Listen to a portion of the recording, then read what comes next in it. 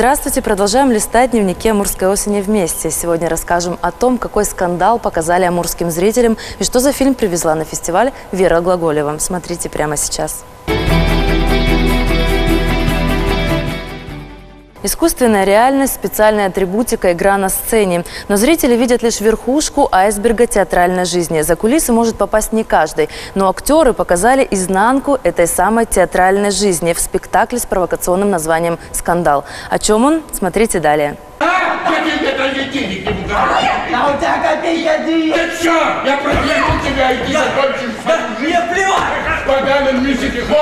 Взаимоотношения артистов, интриги, ревность, звездная болезнь, амбиции выливаются в один большой скандал, что происходит за кулисами. Художественный руководитель театра мэтр РВ Мантель в лице Дмитрия Назарова собирается поставить спектакль о Наполеоне и его возлюбленной Жозефине. Но вот незадача. Проводя кастинги, он не может найти актрису для этой роли. Его сын, скрывая роман с юной артисткой Франсуазой, проталкивает ее вне конкурса. Ей достается роль в спектакле, а также и пристальное внимание мэтра. Обожать меня в тайне, но между нами может быть только одно чувство. Большое, чистое и светлое. Раздевайся. Помимо молодых актрис, также есть и давно не игравшая ни одного спектакля жена директора театра Николь Гиз. Ее представляет Ольга Васильева. Героиня давно мечтает хоть о какой-нибудь роли, но никуда ее не берут. А я прям готова играть все, что угодно. Да? да. Дорогая моя, ты хочешь играть? Да. Ну, только в однотовочке для тебя ничего нет. А пока Николь Гиз ждет своего звездного часа, на главную роль мэтр приглашает свою бывшую жену, тщеславную Габриэль, с которой он развелся 7 лет назад. С ее появлением спектакль начинает пестрить высокомерием. После маленького успеха звездная болезнь одолевает актрису. Ей не нравится в спектакле буквально все, от сценария до названия постановки «Три дороги». Три дороги – это три женщины. Для Монтеске богатая э, очень богатая актриса, Жанна де Мерикур, а где она, кстати? Ну, неважно. Э, молодая девушка с приданным, Наполеон мечется от одной к другой, как вдруг появляется Жозефина Богарне. Подытожил, э, в пьесе три женские роли. Нет, нет, нет, нет, нет, я говорю, что э, все внимание сосредоточено на Жозефине Богарне. Ну, в этом мы сейчас как раз и разбираемся. Ну, если я говорю, значит, надо мне верить. Ну, посмотрим, Зачем посмотрим. выводить-то меня из себя? Однако, не обращая внимания на близких, мэтр занят лишь постановкой спектакля. Ко всему прочему, он признается в любви к новой музе, молодой актрисе. Таким образом, его семья оказывается на грани развала. «Я больше не могу. Беги к своим артистам. Никто, кроме них, тебе не нужен». Такие слова Эрве Мантель многократно слышит от своей нынешней жены. Кстати, и сами актеры регулярно устраивают скандалы на репетициях и на показе постановки. Кому-то нужен такой эмоциональный да, всплеск, вот как моей героине, а кто-то достаточно спокойный. Вот я, например, например, совсем другая в жизни. Я, мне нужно, чтобы, э, наоборот, у меня была очень такая тихая, спокойная атмосфера, чтобы я могла э, набраться энергии и уже э, на сцене все выдать. Зависть есть везде. И не, и не только в, в актерской профессии, а в актерской, конечно, может быть в большей степени.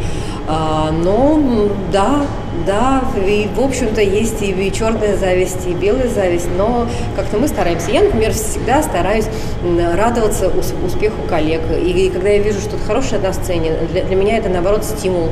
И я, мне хочется туда, к ним, мне хочется играть так же, мне хочется играть какие-то новые роли. Спектакль, что поставил РВ Мантель, заканчивается полным провалом. Однако скандал в театре – это победа. Скандал в актерской профессии – это сенсация. На забытую труппу, наконец, обратили внимание. Шумиха приносит славу. Вероника Федореева, Константин Волков. Программа «Дневники Амурской осени». Тема неразделенной любви стала центральной сразу в двух конкурсных кинокартинах. Это фильм «Ягель» режиссера Владимира Тумаева и кинокартине «Две женщины» по тургеневской пьесе «Месяц в деревне». Этот фильм на фестиваль привезла актриса и режиссер Вера Глаголева. О чем такие разные, но все же похожие фильмы расскажет Олеся Сиваченко. Алеша, это жена твоя, ее зовут Сава.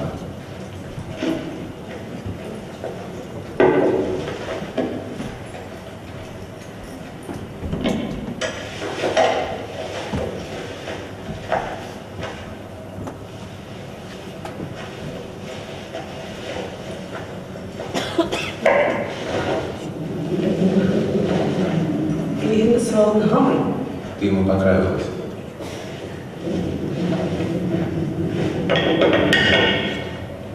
Он, навязанная матерью жена и еще одна женщина, только уже бесконечно любимая. Если бы не необычная обстановка вокруг, этот фильм стал бы банальной историей любовного треугольника. Но в сердце картины вовсе не герои с их переживаниями, а быт малых кочевых народов русского севера с чумами, оленями и прочей колоритной атрибутикой. Не забывай береги сына моего. Не уни, не выдал, не уни, не Дух моего огня не принеси свой гнев на сына моего. Именно этот аспект и привлек режиссера Владимира Тумаева. Он давно мечтал снять реалистичное кино. Поэтому к съемкам этнической драмы «Ягель» по роману ненецкой писательницы Анны Неркаги два года назад приступил с энтузиазмом и сразу столкнулся с трудностями. Холод, снег, кочевая жизнь. Да еще и олени оказались капризными актерами. Устав, они просто падали без движения.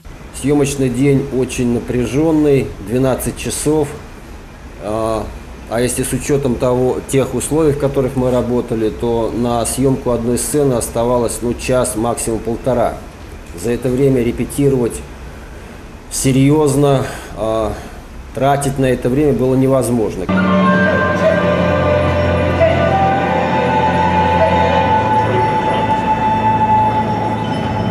Поэтому актеры большей частью импровизировали. В итоге картина вышла захватывающей от начала и до конца, с голливудским хэппи-эндом. Главный герой полюбил таки свою супругу, а режиссеру удалось донести идею до зрителя. Очень трудная жизнь у этих людей.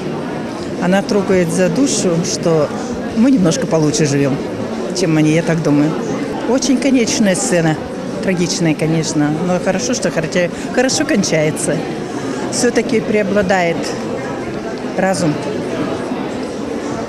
Ну и любовь. Любовь бывает трагическая, бывает от скуки, праздности и ленности. Эту мысль доносила до публики уже другая кинокартина «Две женщины» режиссера Веры Глаголевой. Послушайте, Мишель, вы, конечно, очень умны, но мы с вами иногда разговариваем, точно кружок плетем. А вы знаете, как кружево плетут? Душных комнатах не двигаясь с места. Кружево отличная вещь, но иногда глоток свежей воды в жаркий день гораздо лучше.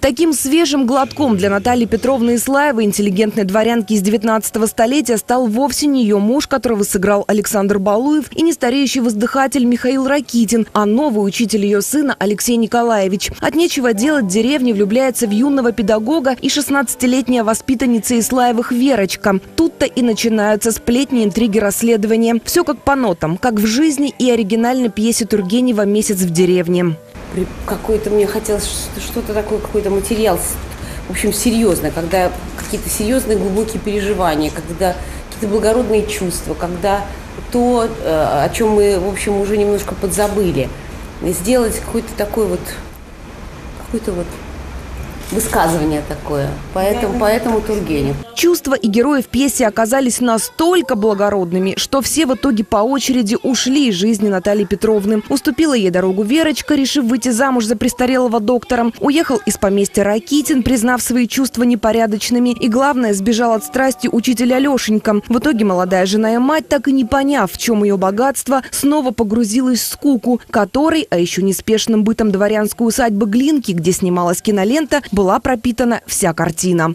Олеся Сиваченко, Иван Сюмак. Дневники Амурской осени. Чистый голос вновь покорил Амурчан. В Благовещенск белорусский ансамбль приезжает уже в третий раз. И третий раз собирает полный зрительный зал. Кстати, среди зрителей оказалась и наша съемочная группа.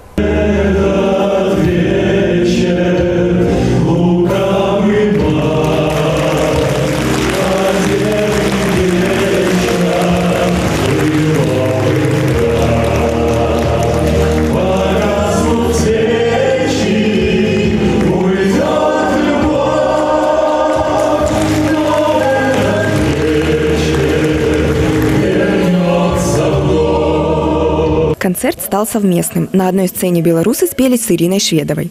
Решение выступать в тандеме было принято ими спонтанно. По словам худрука ансамбля Валерия Прыгуна, артистов приезжает в Благовещенск много, а возможность дать сольный концерт есть не у каждого из-за временных ограничений. Вот и приходится объединяться. Но концертная программа от этого альянса только выиграла.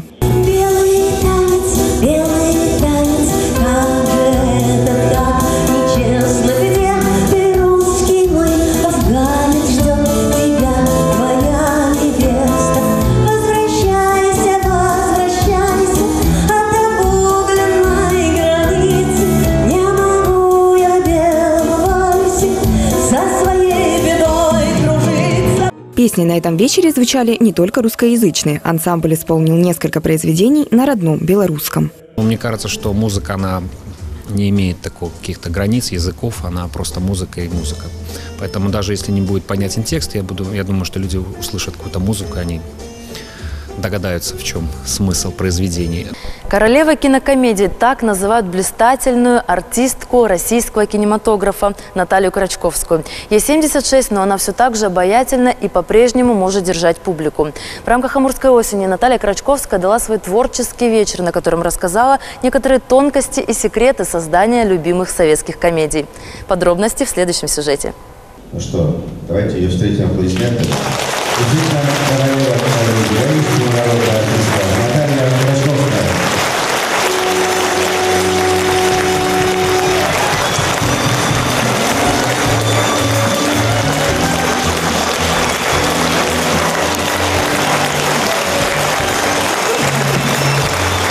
Зал встретил ее продолжительными овациями, а ведь она даже не начала говорить, просто вышла на сцену.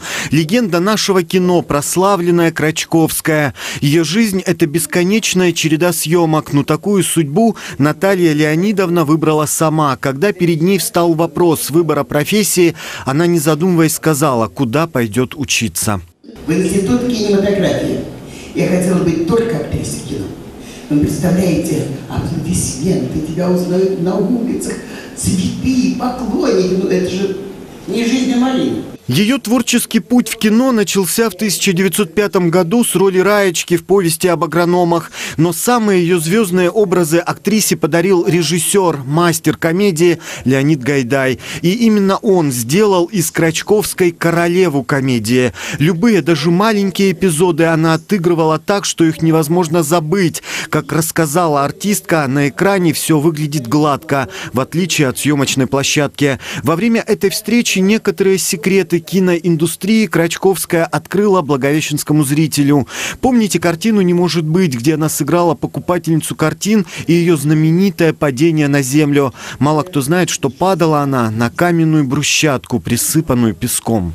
Режиссер увидел, что сцена просто так, говорит, в коем случае не выключайте камеру, продолжайте сцену. Работать, работать, работать. Я кричу, какой работать? Поднимите меня, мне же больно. Мой партнер, видишь, что я валяюсь на земле, и кричу просто истошным голосом, бросился мне помогать. Но не как партнер, а как мужчина. Поднимал он меня 14 раз. А я его одной рукой подняла, посадила, сказала, хватит уже снять. И тебя вылечат. И тебя тоже вылечат. И меня вылечат. Кино она никогда не боится быть смешной. Ради роли может даже подстричься наголо. Крачковская никогда не комплексует из-за своего веса и внешности. Многие ошибочно думают, что работа артистки проста, а ведь были случаи, когда съемки оказывались связаны с риском для жизни. Достаточно вспомнить, как она в картине «Иван Васильевич меняет профессию» на высоте пятого этажа перебирается с балкона на балкон. Дается команда, внимание, мотор, начали! Вылетаю на балкон, задышу руку и ногу над балконом, оп! Все, дальше просто не могу. Мне в лицо бьет яркий, просто яркий, мощный прожектор. Я ничего не вижу, я слепла, ни вперед, ни назад. Состояние жуткое, я понимаю, что я могу просто упасть и разбиться. Сегодня Крачковская в силу возраста редко появляется на публике, и ее приезд в Благовещенск стал настоящим подарком для всех зрителей Амурской области. Юрий Камышный, Андрей Цветков. Дневники Амурской осени. Финальные дни Амурской осени программа все так же насыщена. Сегодня в ОКЦ покажут спектакль «Сосед на неделю, не больше». А в АУДНТ покажут сразу две кинокартины, причем серьезные. Это «Класс коррекции» и «9 дней и одно утро». Сегодня же на площади перед УКЦ пройдет концерт участников фестиваля и подведут итоги фестиваля «Киномур». Завтра в субботу зрителям представят сразу два спектакля «Блесс» в УКЦ и «Зачарованные смертью» в драмтеатре. В рамках конкурса фильмов в АУДНТ продемонстрируют ленты «Я хочу туфли» и «Зимы не будет». В парке дружбы в рамках уличного концерта звезды споют для благовещенцев. Торжественная церемония закрытия фестиваля состоится в воскресенье на сцене ОКЦ. Понаблюдать за ней можно будет не только из зрительного зала, но и на нашем первом областном канале в прямом эфире, а также также на сайте газеты «Амурская правда». У меня на этом все. До окончания фестиваля «Амурская осень» остаются считанные дни, поэтому обязательно успейте побывать на конкурсных мероприятиях, спектаклях, фильмах, а также творческих вечерах. Но если не получается, смотрите наши дневники, мы рассказываем о том, чем запомнилась 12-я «Амурская осень». До встречи!